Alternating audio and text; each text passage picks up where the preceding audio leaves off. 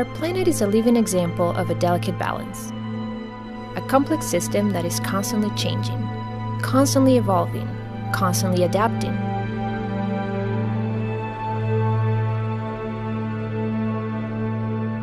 How do these changes affect life on Earth? How does everyday life affect our planet?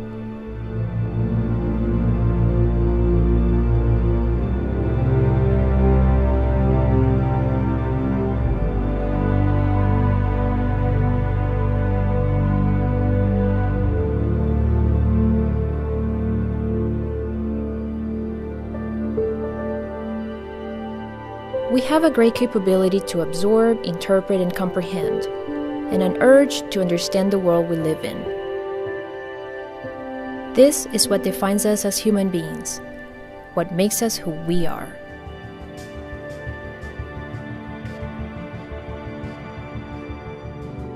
With our technological advancements, we are now capable of exploring new worlds, new frontiers.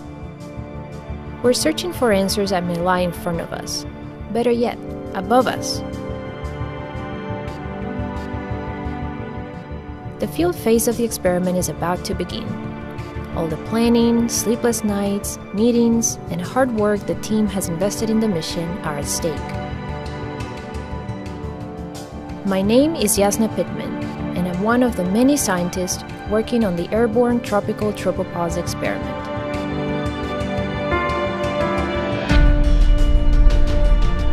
Very natural for humans to want to understand how the world around us works. Why the atmosphere does what it does, it's, it's, it's like solving a puzzle. You just want to understand how it works. We're trying to understand how we're affecting, how humans are affecting the atmosphere. Understanding how the stratosphere changes very much reflects how our climate is changing.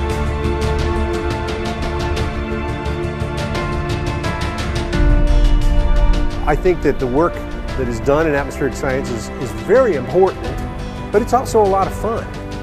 It's like the best job possible.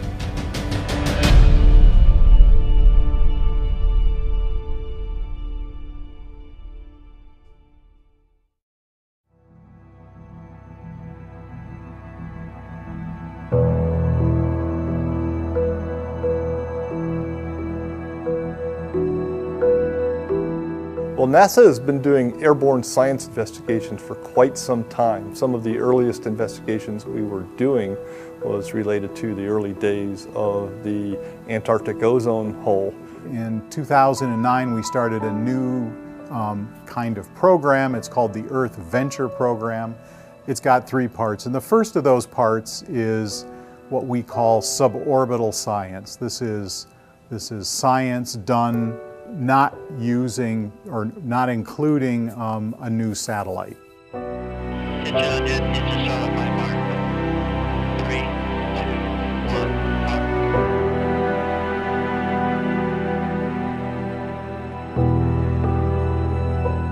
With uh, some of these newer missions, we have let the community come up with their own ideas, their own way of implementing the mission, what their own science requirements are, and they bring their measurements to the table.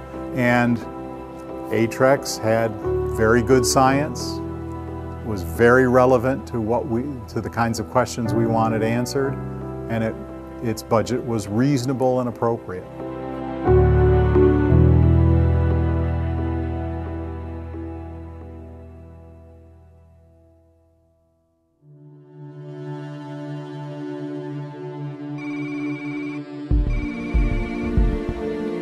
ATTREX is a, an airborne campaign to try to understand uh, how stratospheric water vapor affects climate. Uh, it causes perhaps maybe 15 to 20 percent of the warming that we've had in the past 15 or 20 years.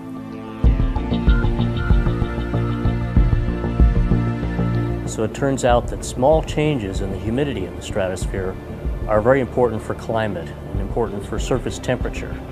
Uh, they're actually comparable to the importance of greenhouse gases that everybody knows about. So for example, we know that if you go back 30 years, carbon dioxide was less, quite a bit less 30 years ago.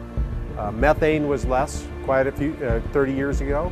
Um, nitrous oxide was less 30 years ago. So we know these gases are increasing with time. Gases that affect the chemistry of the stratosphere, which is where the ozone layer exists that, that protects us from ultraviolet radiation.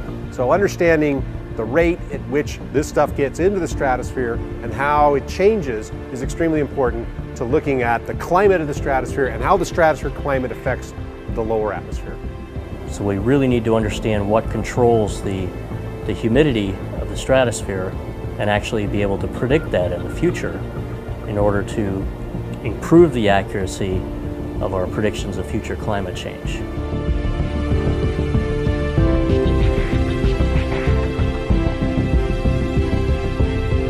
Turns out the most important place to go sample to understand that is the tropical upper troposphere, the top of the troposphere in the, in the tropics, it's called the tropopause, which is actually a very high altitude, which is why we need a high altitude aircraft to study it. So the tropical tropopause is at about 55,000 feet in the tropics. So if you go down to the equator, you have to go up quite high, above 50,000 feet. And the tropical tropopause is really important to the global atmosphere because most of the gases that get into the stratosphere, all the air that's circulating upward into the stratosphere goes through this tropical tropopause region. So that's basically a gateway to the stratosphere. The general circulation transports air upward in the tropics, goes into the stratosphere, and then is spread throughout the stratosphere and comes down at the higher latitudes in the polar region. And this is what ATTREX is focused on, to look at that motion of air into the stratosphere and how the water is removed from that air as it rises upward. We know a lot about it, but there are some puzzles about the details of how the clouds are formed and under what conditions they form. So that's probably the most important thing that we hope to gain from ATTREX. ATTREX will address a number of really important issues. It'll, it'll give us a better understanding of exchange between the troposphere and the stratosphere and how that impacts atmospheric composition, how that affects the chemistry that goes on in the upper atmosphere, and in the longer term, how that will affect climate. And that will help us to understand as we go forward trying to figure out what to do about climate change to better predict it and make better decisions.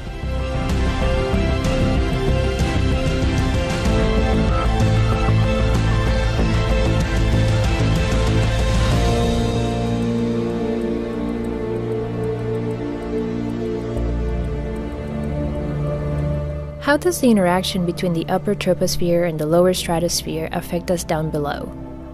How are we going to find out? We have the questions. Now we'll be searching for the answers.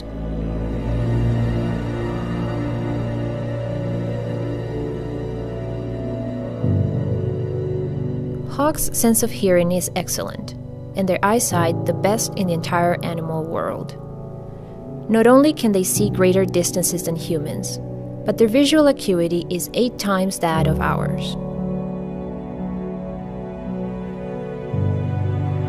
Yet we need to look even further, higher, deeper into the sky. We live in the lowest layer of the atmosphere, which is the troposphere. Uh, the stratosphere is the next layer above us, so it's basically above altitudes of uh, somewhere between 30 and 50,000 feet. There are um, processes that take place in the stratosphere that have very direct impact on us. So it's extremely important to understand the detailed process of water turning into clouds, those particles in clouds settling out. How does that detailed process occur? And then how will it change in the future? What's been our big problem is getting the airplanes to the right place where they can make the measurements for long enough periods of time uh, to do the observations.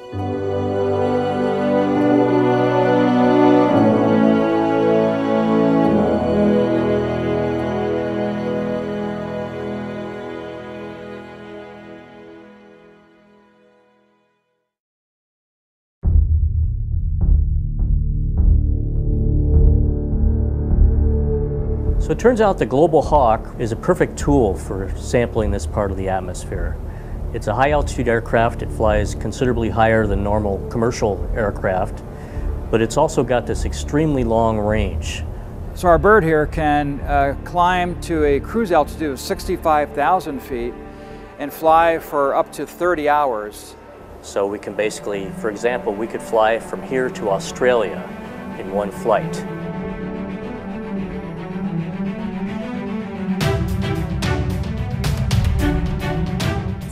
Geometry of the airplane, it has a wingspan of 116 feet, which is equivalent to the wingspan of a Boeing 737 transport aircraft, a length of about 65 feet, weighs about 27,000 pounds, fully fueled at takeoff.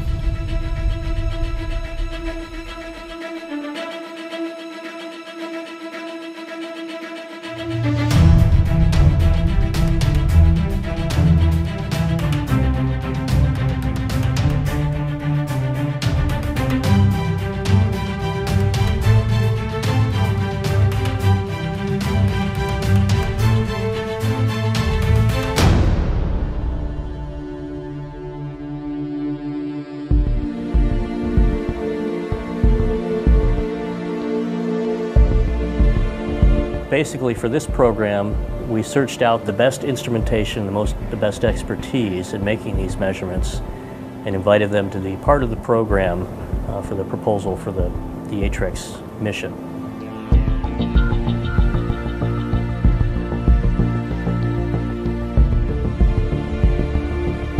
Once the major science campaign, the project mission scientist selects the instrument teams, that's really when our work gets started. Uh, we will then visit them and begin coordinating all the mechanical and electrical interfaces we need to do to get them mounted on the airplane. You have to determine everything from the size of the instrument, so you know how much space it's going to occupy or needs to occupy in the aircraft, how much the instrument weighs so you can be sure that what you design mechanically for installing the instrument on the aircraft uh, is of sufficient strength to be able to hold the instrument in the aircraft. In some cases you'll see probes sticking out of the airplane, so all that has to go through aerodynamic analysis, etc. Uh, structural mounts inside have to be properly stress analyzed, so we make sure all that happens. So we coordinate with all the proper technical fields to get ready for the instrument to arrive here. From the time we first start communicating with the instruments teams and, until we're ready to actually start performing science with all the instruments on the aircraft, it takes about a year and a half of, of really hard work, close coordination, and uh, a lot of good communication between everybody.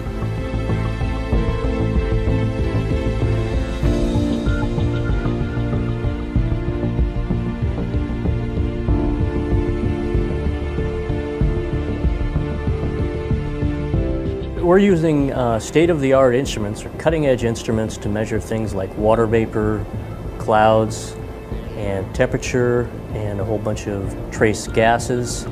We have a very sophisticated instrument um, called the Cloud Physics LiDAR.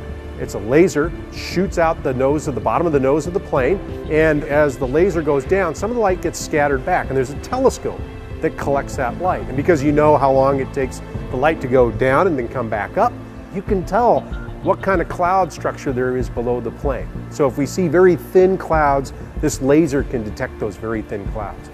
We have a meteorological system on board the plane that measures winds, temperatures, and pressure. And it's very, it's a best meteorological instrument in the world for measuring these. Imagine how hard it is to measure from a plane that is going a few hundred miles per hour. So it's a really hard measurement to make and they do it.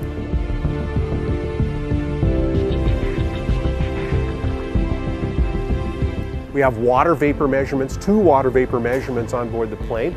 Um, water vapor is, is important to look at how air that's going into the stratosphere gets freeze dried. So you have to have a really high quality water vapor measurement, and we have two instruments to do that. Um, we measure ozone on board this plane. Ozone, um, as I mentioned, the ozone layer screens ultraviolet radiation, so we have to know what the ozone looks like. There's actually very little ozone in the lower atmosphere, and there's a lot as you get into the stratosphere. So we use ozone actually to tell us the difference between stratospheric air and tropospheric air. We have another instrument that actually sucks little gas samples, has little cans, So it'll suck in a little air and then you bring those cans back, take them to a lab, and you could literally measure 100 different gases from these little gas sample cans.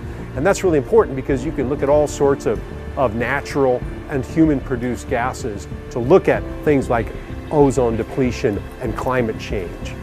So all of these will tell us how air is transported through the tropical tropopause region and how it's dried to the very dry conditions of the stratosphere.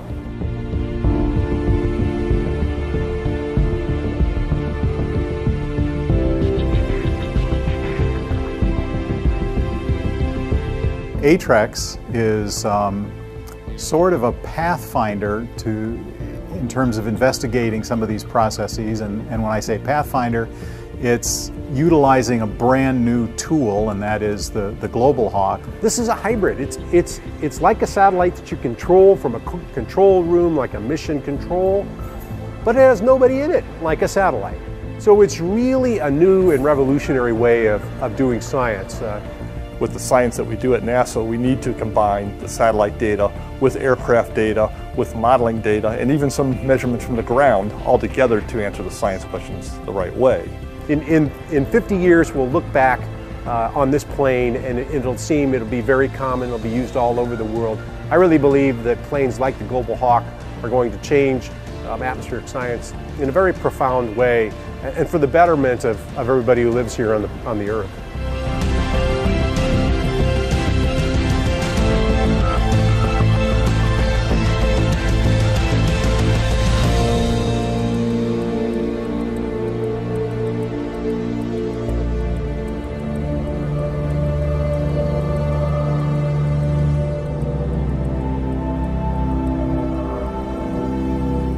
Everything is ready.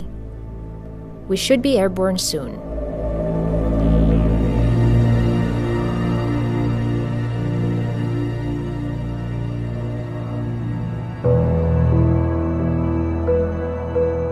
Alright, good morning everybody. Roll call, got the pilot, got the co-pilot, GEOC operator, uh, mission director. Alright, uh, flight mission crew, FCIFs are complete and flight currencies are all checked. Crew schedule has been published. We're NASA 872. Uh, engine start expecting 0600. Estimated landing of 07 tomorrow morning. Uh, so the mission duration is approximately 24. All right, thanks everybody. I didn't ignore your email.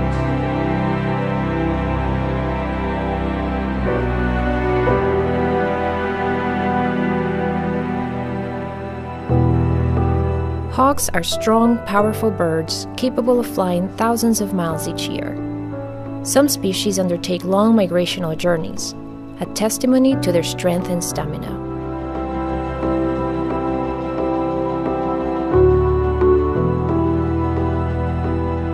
Our bird will fly over 10,000 nautical miles and will reach an altitude of 65,000 feet.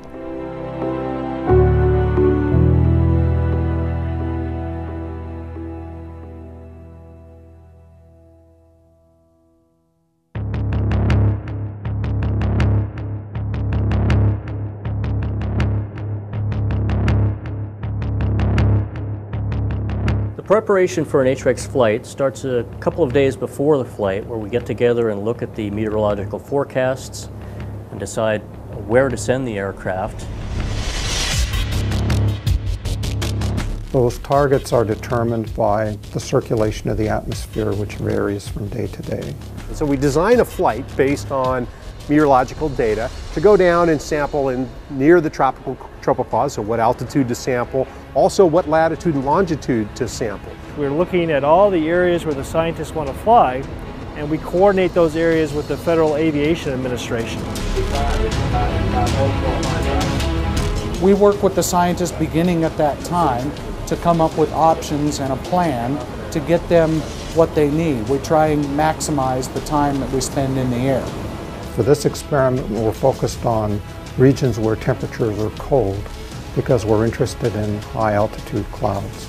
These clouds are about 10 miles or 16 kilometers above the surface. When all the instruments are ready for flight and everything's been checked out and the aircraft's been checked out, and we button up all the hatches, and we're ready for flight.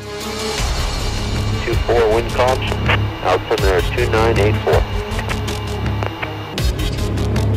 Once everything is ready in the control room, uh, we give the OK for engine start the aircraft to shores. So we're ready for aircraft taxi prep. Copy, inward. Center line, 22 left. Roger. That's 872. That's 872, copy, and uh, Trapper, can I get a takeoff report? Yes, sir. Runway's clear. You're going for takeoff. Roger that. 49. 89. Takeoff, ready, ready now.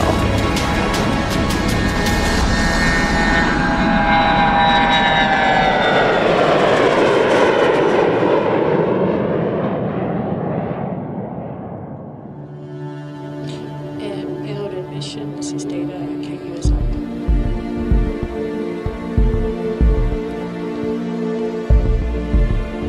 We fly it with a mouse and keyboard, and it's more like uh, flying an airline that's always on autopilot. Well, with the Global Hawk, we have these same controls, only we're just on the ground, and the aircraft could be, you know, several thousand miles away. Rather than pointing the nose in any given direction or setting a throttle for a, a particular power setting, we just tell the aircraft go to this heading, go to this altitude, go to this airspeed. The system itself decides on the best way to get there. And one of our challenges is to kind of understand the contingency state that the aircraft is in and, uh, and make sure we understand what the aircraft is doing, and, and that's what we truly want the aircraft to do. Most of the time, the aircraft is flying in what we call a cruise climb mode. It's actually full throttle in a climb. It gets up to a maximum altitude, and then it has to wait to burn fuel off. And as the aircraft gets lighter, it goes a little bit higher and a little bit higher, up to a maximum ceiling of about 65,000 feet. Easy left. Roger, uh, release and then turn. One of the things we, we do during these flights is we have a, a meteorological team, a team of forecasters down the hall who are watching the satellite products and uh, telling us where thunderstorms are, for example. There might be colder temperatures south of Hawaii versus just off the, the coast of South America or Central America. So we have to know where to direct the plane. So we look very carefully at the meteorological situation first. Then when they're in the air and you're flying along, oftentimes these forecasts are wrong. So when when the atmospheric conditions change uh, during the flight, when we're out over the ocean, uh, a lot of times uh, there's a request for us to change our flight track. Uh, maybe the, the, the area that they're interested in is in a different area. So one of the things that we will do is, is coordinate that flight change. We will use the information we're collecting as we fly along to redirect the plane. If you'll notice up on that forward deck of the airplane, there's a big white 48 inch dish. That's a KU, a commercial KU SATCOM dish, and that is constantly pointing at the satellite that we have um, subscribed to for the missions. We actually get extensive data transmission uh, from what the instruments are measuring in flight.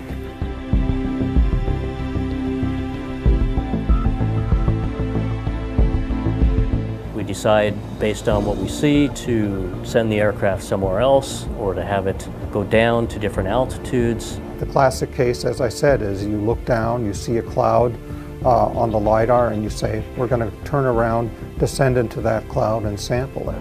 So we'll profile down through these thin clouds, making measurements of not only water vapor, but the temperature and the pressure, and a range of other gases, including ozone, chlorofluorocarbons, and so forth, so that we can understand the movement of air and the behavior of the air in that layer as we dive down. One of the great things about this is being that our ground station is building based and we have all of the scientists in the back room. We always fly with two pilots. This gives us the opportunity for one pilot, the mission commander, to, to get up, go to the back room, leave the other guy to monitor the airplane, and we can talk with any one of the particular scientists, whoever has the, the most important data that they want to get at that particular time, and we can work directly with that scientist, sit right down at the table with, with him or her, and decide what's the best way to get them what they want. and still meet everybody else's needs. Obviously, the pilots fly the plane. They're the ones who are talking to ground control, but the pilot has to know where to go, and that's where the scientist role comes in. The scientist will pick the targets and direct the plane towards the appropriate targets, both before we fly and while we're flying. Uh, it's quite a process because sometimes it can mean a, a, major shift in the flight track. So we will look at what they, they have proposed and provide some feedback. And then we have to talk to uh, air traffic control uh, to make sure that what we're proposing is okay with them. So we'll, we'll change the flight track sometimes many times during a flight. And so that's how we coordinate between the flight operations team and the payload operations team. So it's a very close collaboration during a flight between both groups. Very interesting for me too because coming from a, a platform where we would just have instruments loaded on the plane and we just go fly a mission, we get real-time interaction with the scientists and I've learned a whole lot just in the few years I've been doing this on what's going on in the back end of the airplane. Very exciting and very interesting.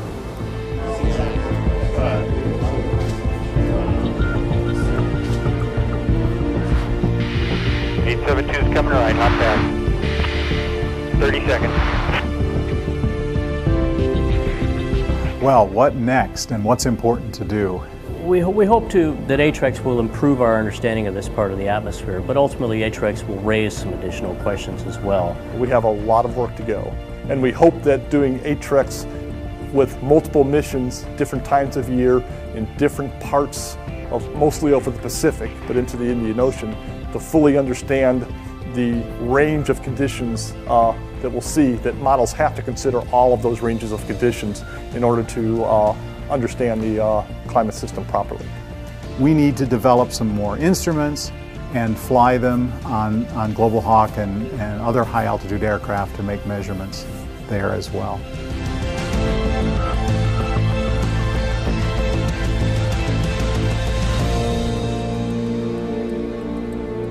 Emily Dickinson once wrote, The brain is wider than the sky.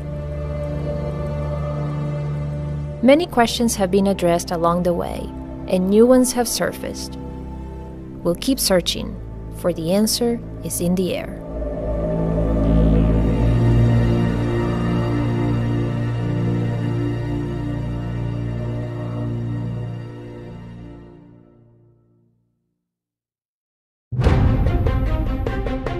Carl Sagan once defined the Earth as the pale blue dot.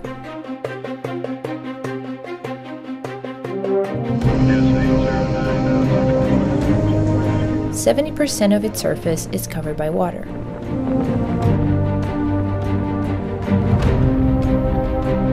Life on our planet began in the oceans some three and a half billion years ago. Since then, Water has been an essential component for us. In fact, two thirds of our bodies are made out of water. We can't imagine life without it. As far as we know, without the presence of liquid water, life is not possible at all. Water is all around us. It's not only in our oceans, but we also find it in rivers, lakes, ice, rain, clouds, even in the air we breathe in, as it's continuously evaporating into the atmosphere.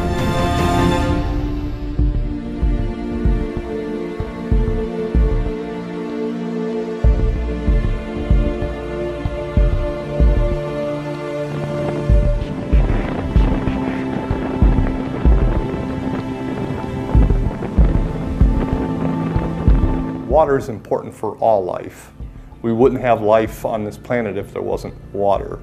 When astronomers try to think about other planets and whether they have life on it, the first question they ask is, is there liquid water? We have uh, liquid water uh, covering the, nearly the entire planet, 70% of the planet covered by water.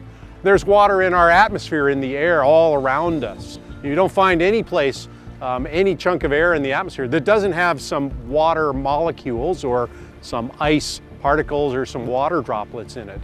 Without uh, water as part of the climate system, we would have wild temperature swings in our atmosphere that would probably make uh, any planet uninhabitable. So water is a, a key driver.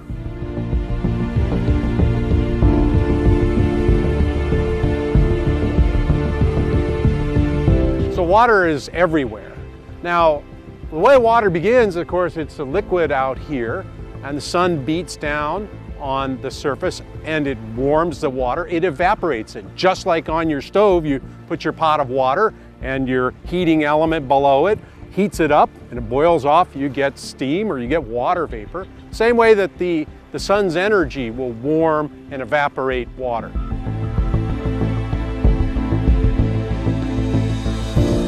That water rises in our atmosphere, and as it rises, temperatures are cooler aloft, and so you form clouds. Clouds are water particles.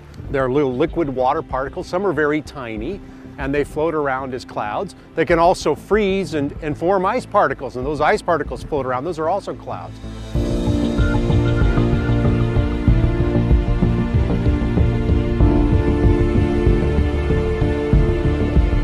As the atmosphere moves that water vapor around and those cloud droplets, they fall out of the sky and they come down on the surface and they feed our lakes and our streams. They make the soil wet so the crops can grow. Water is really a fundamental part of our, of our planet. It goes back to the oceans and then it goes through this cycle again. So you get this constant heating up of liquid water, becomes a gas, it precipitates out onto the land, and it drives this, what we call the hydrological cycle.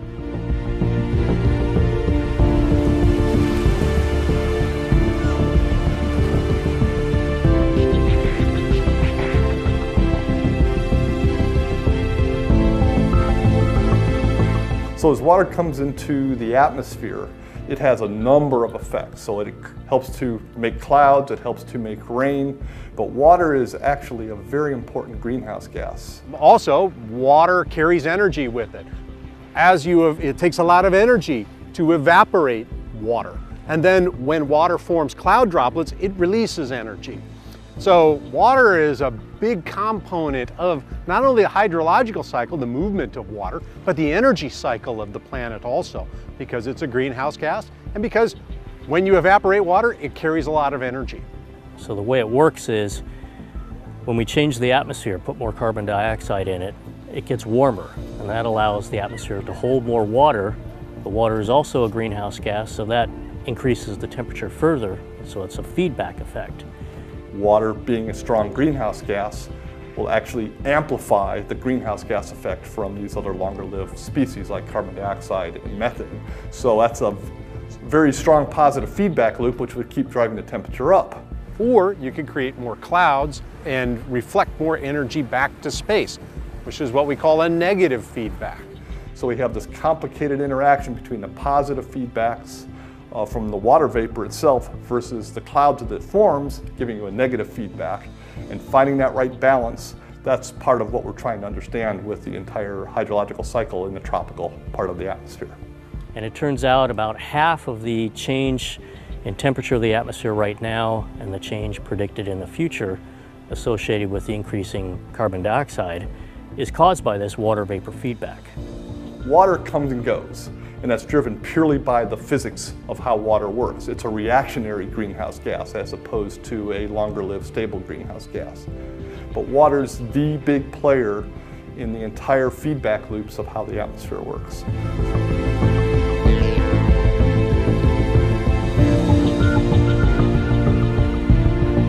So it's very warm here in the tropics and it's very moist, and so the air down near the surface has a lot of energy in it. So deep convection in the form of thunderstorms and typhoons um, actually are more energetic. They go to higher altitudes. And so it can go quite high. We see these big thunderstorms that develop, and that's this air being funneled up, just like a boiling pot of water. The air gets funneled up into the upper troposphere here and actually go very high. And so that extends the troposphere upward to higher altitudes and the temperature keeps decreasing as you go up and so it's colder. And so eventually most of the water gets frozen out as you get up to these altitudes of 50, 60,000 feet. So it's incredibly dry, even though down at the surface in the tropics, it's, it's very wet and moist. It's very high humidity, it's damp. When you get to 55,000 feet, about 16 kilometers up, it's incredibly dry. You still get some water making it up to the tropical tropopause, and there the atmospheric motions transport air into the stratosphere. So air is transported into the stratosphere with a small amount of water that's left behind, and that's controlled by the temperatures at the tropical tropopause. So if the tropopause is colder, less water will make it into the stratosphere. If it's somewhat warmer, more water will make it into the stratosphere. Above us, up at 40, 50,000 feet in the tropics, the atmosphere is going to warm up through this century. And because of that, there will be less freeze drying of this air going up. And so the, the thinking is that water might go up. Now water is a powerful greenhouse gas, so if water increases at those higher altitudes, it will act to trap more energy at the surface. So it could cause the temperature to actually go up higher. Climate change will have huge impacts on food supply, on um, ocean levels and flooding of, uh, of uh, coastal regions. It's important to understand, put all of this together to understand how water will change through the next century. The more we understand the processes, the better off society will be because of it.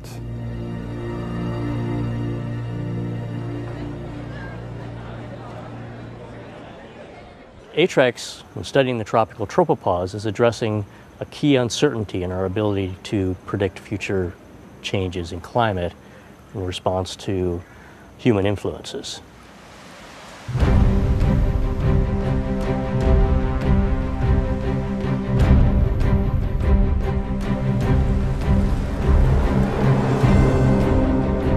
It is believed that Guam was first discovered by seafaring people who migrated from Southeast Asia around 2000 BC.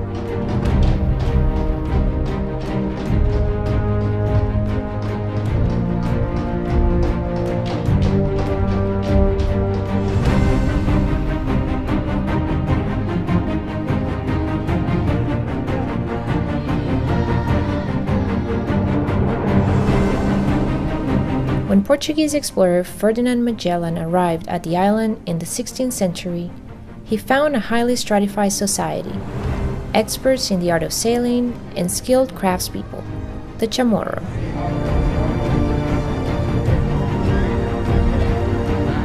Since then, numerous expeditions have investigated this region of the Pacific, yet there are still many discoveries to be made and places to be explored. Although this time we'll be looking up, way up into the sky. Attention on net, engine start on my mark. Box number 7324. NASA 872. 872.